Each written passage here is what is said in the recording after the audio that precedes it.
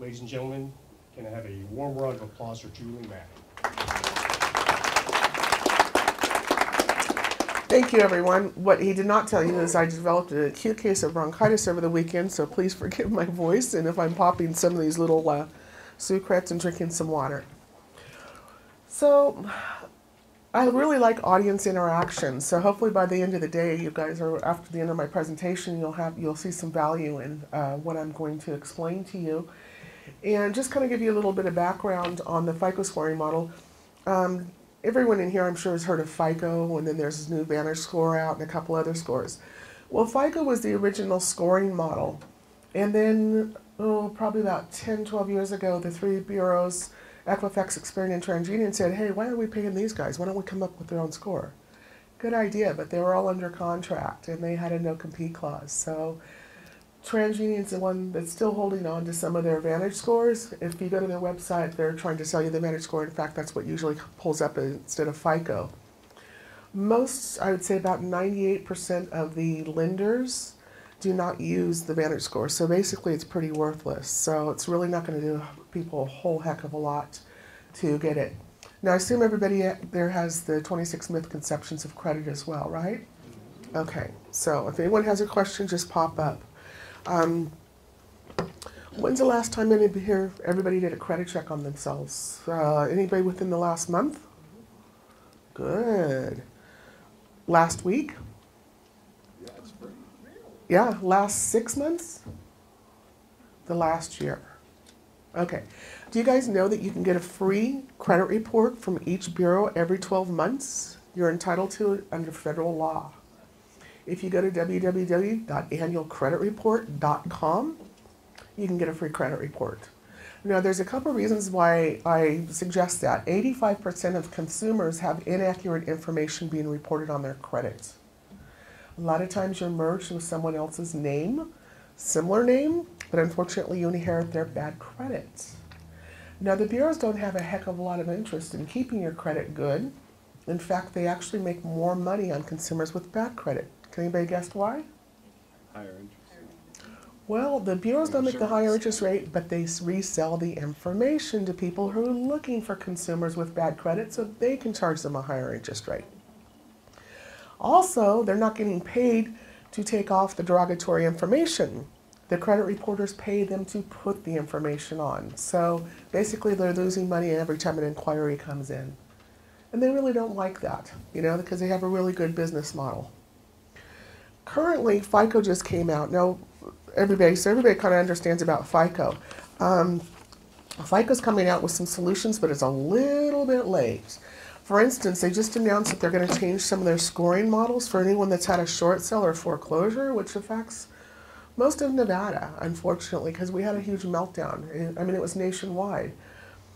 So currently, after seven years, the FICO, um, any bad credit or bad items that are on there will kind of wash itself off, with the exception of bankruptcies, which can stay on for 10 years, or collections, or excuse me, judgments or liens. Those typically stay on for 10 years. A lot of lenders will loan after four years, so those are constantly changing. So I just wish FICO would come to the party a little bit earlier and helped everybody out. Um, the minimum criteria needed to generate a credit score. I have people that sometimes, believe it or not, come to me and they don't have a credit score. Well, in order to generate a credit score, you need to have a social security that's being reported to the bureaus, um, or you have to have an account that's open for, and being reported for six months, or potentially maybe no trade, trade line's been updated in six months. Believe it or not, there's some people out there that don't have a FICO and they have high assets. They just pay for cash. Unfortunately, that's usually the 1%. They usually have corporate credit because they have a business and they run things through there. But for the individuals that don't, those are the requirements to have a FICO score. So how some of the credit scoring model works, excuse me while I put this down.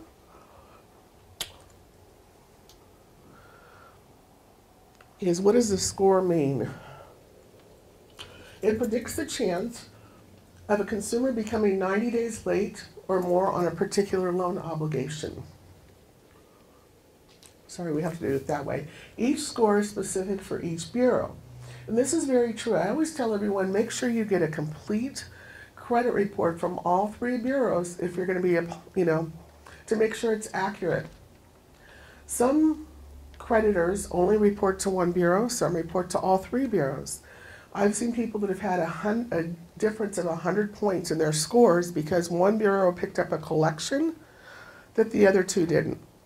And that can be drastic. I mean, you don't want the bad news at the last minute. Scores range from 350 or 300 to 850 for classic FICO. The higher the score, the less odds of the default.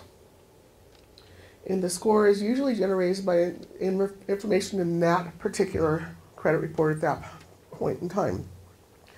The reason that this is really important is credit has no history or memory. What's on there one day can completely deleted and gone the next with a dispute. It's really amazing. So unless you have a credit report printed out at that point in time, you're not going to see what the score is. It can change. It's it's constantly fluid.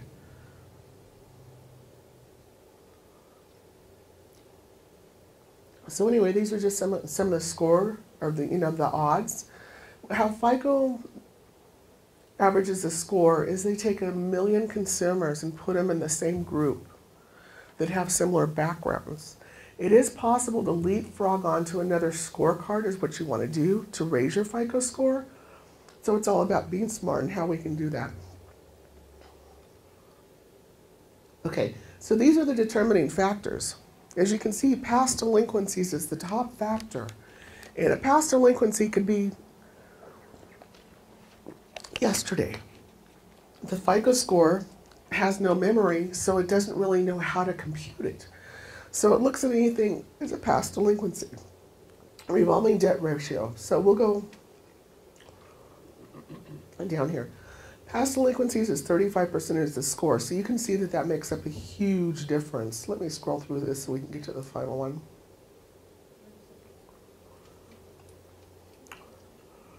These are what I was talking about, how long delinquencies stay on the credit report. Any questions on this?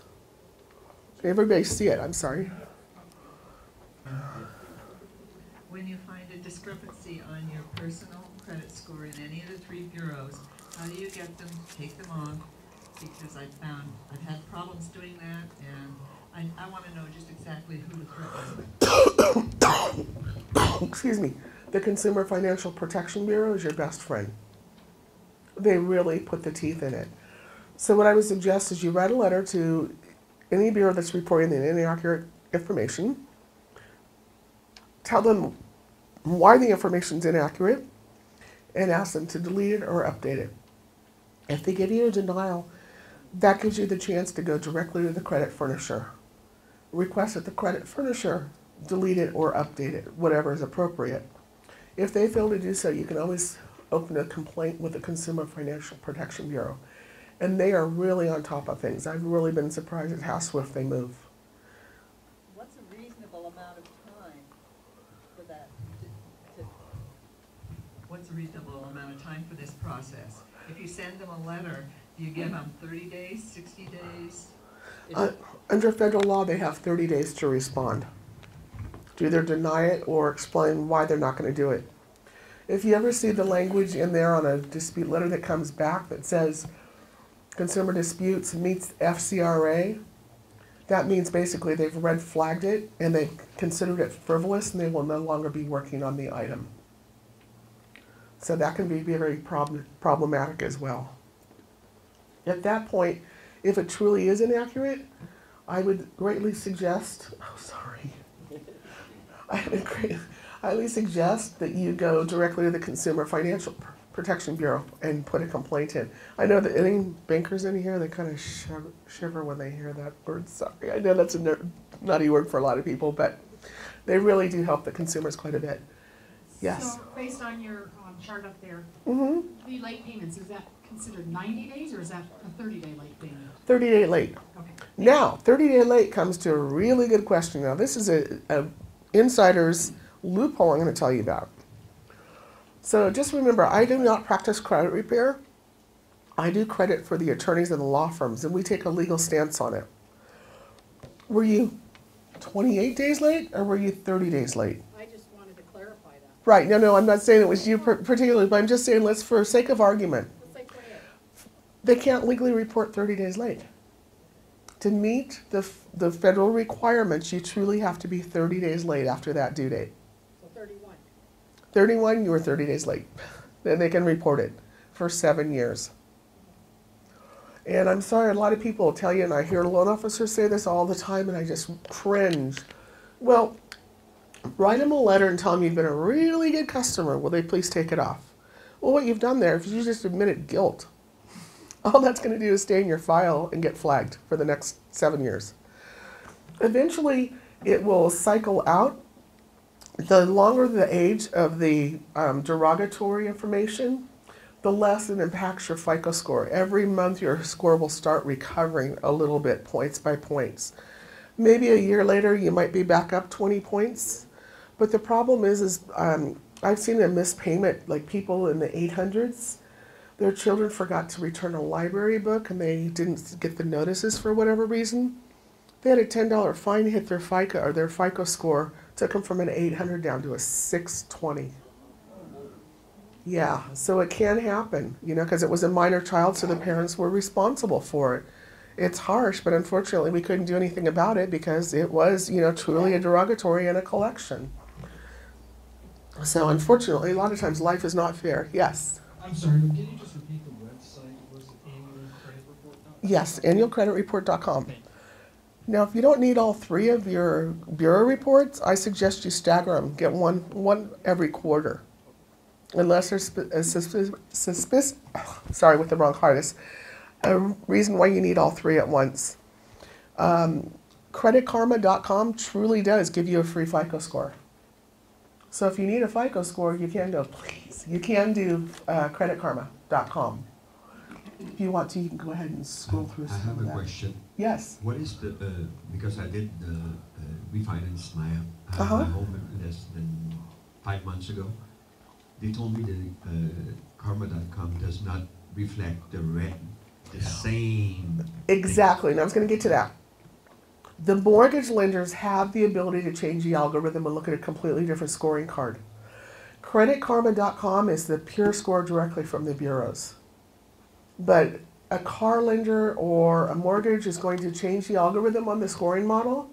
So it's going to be slightly higher. And I get that a lot. I have people that go, oh, I'm a 740, yay. And then their mortgage, their lender pulls it up and they're a six, maybe a 692 and they need a 700 to get the better rate. So what's happened is the algorithm has changed on that on the scoring model.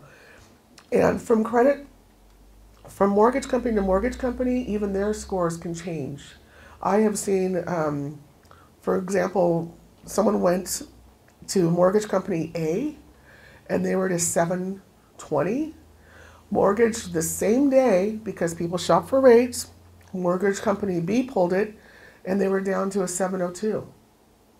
Nothing had changed on the credit report. It was just the scoring model and the credit model, the algorithm, what, what that particular lender's looking for. 30% of your credit score is made up of what your credit file contains. That's perfect right there. So, share debt amongst the cards, meaning break up the balances. You don't want to have a really high balance on any one card. 30 since 30% of the score is made up, you want to keep the cards 30 or below what the credit limit is. I also suggest you use them every six months. Otherwise, you might get a nice, polite letter from your credit card, you know, the company that issued it, saying they closed it for your protection. Well, I don't know how that's your protection. Basically, what they're doing is trying, trying to do is close out their own risk. Even if you charge gas or groceries on it, um, try not to close credit cards because we're going to get to it in a minute. Credit loves history. The longer you have an a, account open, the higher your score is going to be. I have one client who's never made more than $36,000 her entire life. She has a credit card that has been open since 1989. And then she just opened another one, probably I want to say in 2000. She's 800. So your income does not, you know, it has no relationship whatsoever to your FICO score. Your FICO score is strictly based on how you pay your debts. So, if you need to get an extra bump, they always threaten to take off the authorized user. Now, to be a legitimate authorized user, it's got to be an immediate family member, fiance, someone else living in the home, not somebody that you bought maybe. Um, this was really common when people were looking for credit. They would go to these companies who would sell them and piggyback them on someone else's credit, which was totally illegal. And if they get caught, there's big fines. But if you legitimately have an authorized user, this is also a great way to give your kids a start if they're going to college and you want to build up their credit score. We did this for my stepson. Um, he graduated with a 760 FICO score from just, you know, just being creative. We knew how to work the system so he had a fi- high FICO so that he would score well because he wanted to become a police officer. He had his master's in criminal justice, but they, justice, but they were laying off.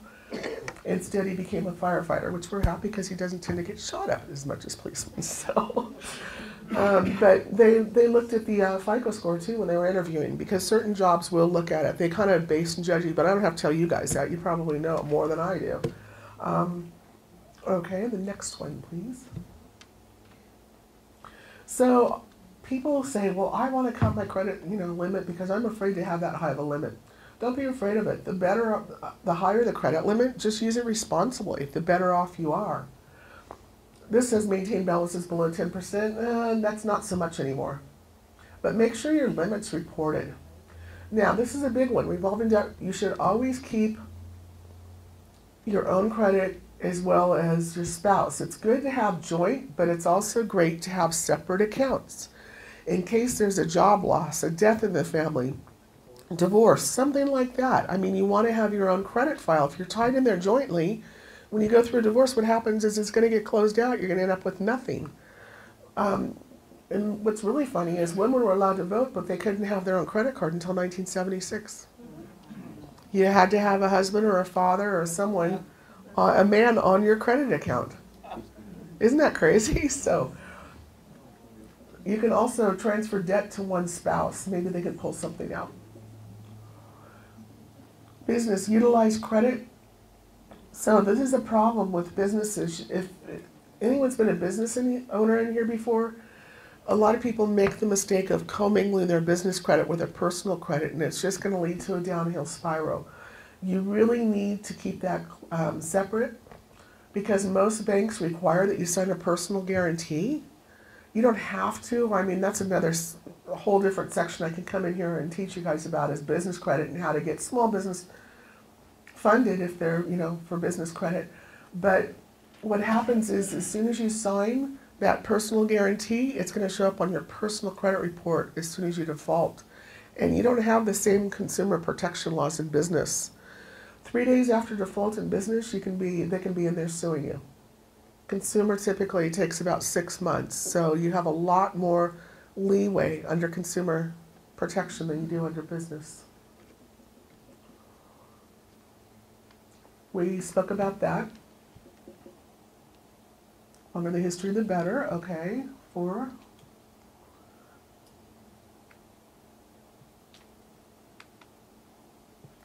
The mix-it credit. Now this can be important. Typically, an American Express, Visa, MasterCard, Discover card will hold uh, more weight in the credit scoring than typically department store cards. Reason being is department stores are a little more lax. Um, it's a little harder to get the other ones, and the FICO scoring gives them more weight in the model scoring. This makes up kind of the perfect credit card or credit score if you have three to five open revolving credit cards. A mortgage account. We can shut that off because it says we started in 14 months or 14 minutes. We can get through that. Auto loan. An equity lines of credit. Well, unfortunately, a lot of us can't get that now because our houses still haven't recovered. But in the good old days, a perfect world where inquiries are 10% of the credit score. Now, the general rule is they realize that people shop rates. So if you're going for an auto loan, typically on the FICO scoring model, it will give you 30 days of inquiries before it counts as one. So they lump them all together. So don't be afraid to shop around for the best rate and think it's going to hit. all these inquiries will hit you. The inquiries will catch up if you start going from credit card to credit card to credit card and applying, and especially if you're getting denied. So before anyone applies for a credit card or new credit, I would suggest they take a peek at their FICO score to see what it is and see if anything needs to be adjusted. Mortgage, you get a 45 day grace period. Inquiries will affect the score for one year, and they can cost anywhere from 0 to 50 points. Believe it or not, I have seen 50 points. Um, gentleman just hit up everybody he could possibly think. I mean, for months looking for credit. I, I swear he must have been in front of his computer shopping. Does your free report, uh, does your free report count as an inquiry? No. Anytime a consumer pulls their own credit report, it does not show up. It's what they call a soft inquiry. A hard inquiry is when they apply for like a mortgage, a car loan, or a credit card. What about credit checks for, uh, like background checks for you're applying for a job and they say, you know, it's okay to go ahead and check your credit? Is- Yeah, typically those don't, they, they're a soft inquiry again because it's for job purpose. You're not looking for a credit extension. Usually the inquiries start hurting you when it's, um, like if you're applying for Amex or Visa or MasterCard or a car loan, something like that. That's when they'll start adding up. But even the first time, you know, you apply in that thirty day period, it's only gonna be maybe a point or two. What about, you know, Discover Card has that new, where they put their, your FICO score on your, Mhm. on your statement. Does that count as inquiry and are they? Not actually at all. taking it Every, No, they consider that a soft inquiry, and those are actually pretty good. I love the credit cards now that are giving you your credit report and your credit score. That's also a good way to deter identity theft, which is another issue. Um, identity theft is just horrifying. We'll talk about that in a moment. So anyway, so you can see the 30 day and 45 day buff- buffer period there for our auto and mortgage, which we spoke about. See, personal would be for job promotional and job related, insurance and account reviews. So right here is the credit scoring chart.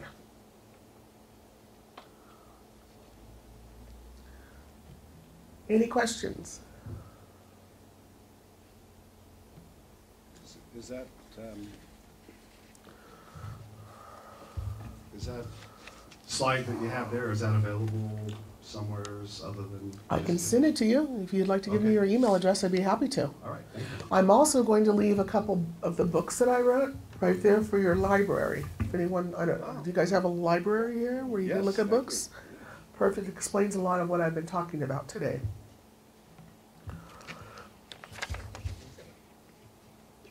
Yes, Um, just to go back a little bit, so if you add an authorized user, just, Mhm. so say I add my girlfriend, that would benefit her credit score, not the card holder? absolutely, absolutely.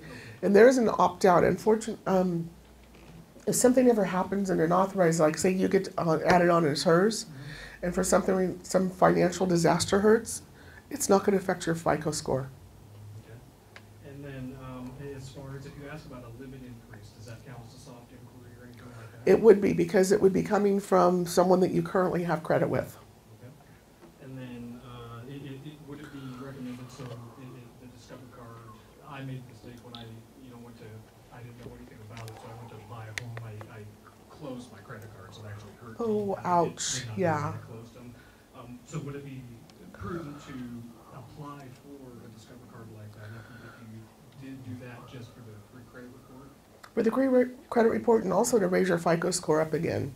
Typically what happens anytime you open a new account, your score is going to go down a little bit because it takes six months to season that account to get a payment history. Then after six months, you'll see your account pop up.